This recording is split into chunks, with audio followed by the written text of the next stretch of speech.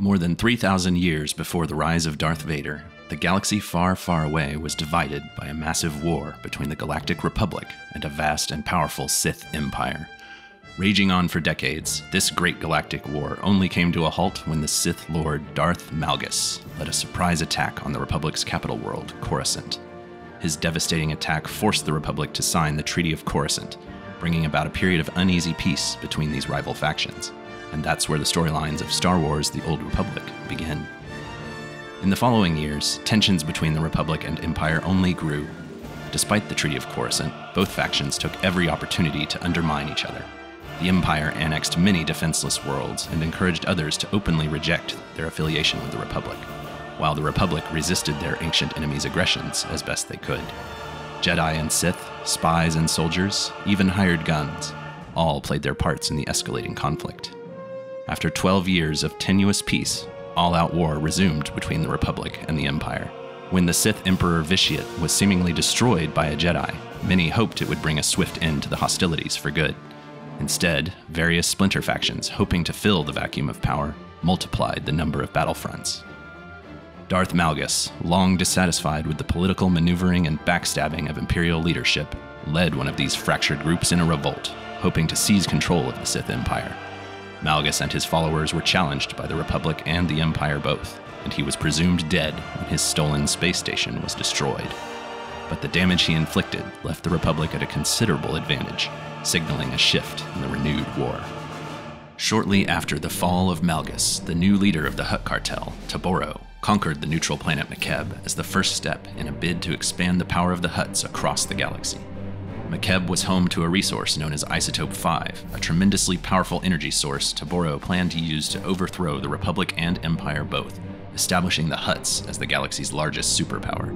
But Toborro's conquest of Makeb came with a price. His ruthless Isotope 5 mining operations destabilized the planet and set it on a path to total destruction. The Republic raced to evacuate Makeb's citizens, while the Empire sent their own forces to salvage as much Isotope 5 as they could in the chaos. Eventually, the other cartel leaders turned against Toborro and offered to assist the Republic with eliminating him. As Toborro's invasion came to an end, the Republic gained a powerful ally in the Hutt cartel, but the Empire's newly acquired supply of Isotope 5 made up for the shortcomings they had recently suffered. The chaos of Makeb had barely subsided before a new threat emerged. Despite fighting on opposite sides, a Sith Lord named Lana Beniko and a Republic spy, Theron Shan, both began to suspect that their superiors were working together for an unknown third party. By pooling their resources and recruiting the help of some powerful new friends, Lana and Theron uncovered a conspiracy that was bigger than they could have imagined. The Republic and the Empire had both been infiltrated by a veritable army of cultists, led by the infamous Jedi turned Sith known as Revan. Knowing that the Sith Emperor Vitiate was not truly dead, Revan and his followers attempted to force Vitiate back into a physical form they could destroy by fomenting catastrophic battles between the Republic and the Empire. However, once their plan was exposed by Theron and Lana, a coalition of forces from both factions defeated the cultists' plot. But the victory was short lived. Vitiate's incorporeal form spoke once more after years of silence, empowered by the very attempt to destroy him. The Emperor had returned. Republic and Imperial forces joined together once again after the newly freed Sith Emperor consumed all life on the planet Ziost, killing almost the entirety of the planet's population. A task force led by Darth Marr, a key player during the Revanite crisis, tracked the Emperor to an uncharted area beyond the known regions of the galaxy, known as Wild Space. Marr's forces had barely begun to explore the region before they were attacked. The assailants, led by Prince Arcann of the Eternal Empire, captured Marr and one of his allies and brought them before his father, Emperor Valkorion. Marr immediately recognized Valkorion as the same emperor who had once ruled the Sith Empire and who had destroyed Ziost. Marr was killed in the ensuing confrontation. While Valkorion attempted to recruit Marr's ally to his cause, he was struck down and seemingly killed. Arcann blamed the ally, whom he called Outlander, for the attack, and claimed the throne of the Eternal Empire for himself. The weakened Republic and Sith Empire were powerless against Emperor Arcann's forces and quickly submitted to invasion.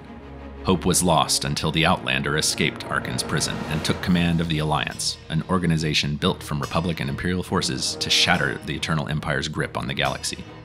All the while, the disembodied Emperor, now known as Valkorion, lived on, speaking within the Alliance commander's mind, attempting to guide their actions and tempt them with promises of his power and wisdom. The Alliance's rebellion was long and difficult. When Arcann was eventually deposed, his sister Vaylin, who many considered to be even more tyrannical, took the Eternal Throne for herself. Vaylin's rule, marked by bloodshed and chaos, ended when she attacked the Alliance base on Odessen. After a long battle that cost many lives, the Alliance commander defeated Vaylin, traveled to the Eternal Empire's homeworld of Zakuul, and seized control of the Eternal Throne and what remained of the vast automated fleets it commanded. It was at this pivotal moment that the disembodied Valkorion struck, attempting to seize the commander's body for himself. But the commander's will was stronger than he'd imagined, and the once Emperor of the Sith was seemingly destroyed at last. The Alliance's impressive influence over the galaxy was short lived. Without a common foe to unite them, tensions between the Republic and the Empire quickly escalated. Meanwhile, a shadowy group known as the Order of Zildrog managed to secretly infiltrate all of the Alliance's systems and communications, ultimately destroying the bulk of the Alliance fleet before they were stopped. With a return to war becoming inevitable, the commander was forced to choose a side for the battles to come. The first shot of this renewed conflict was fired on the planet Ossus, where Imperial forces were deployed to destroy a hidden colony of Jedi in a preemptive strike. The mission was ultimately led by Darth Malgus, who had narrowly survived his brush with death, and now seemed fully, if suspiciously, loyal to the Empire's new ruler. Is the man who once challenged the Republic and his fellow Sith alike truly returning to the fold as a loyal warrior for the Empire? Or does Malgus still have his own dark agenda? Find out in Legacy of the Sith.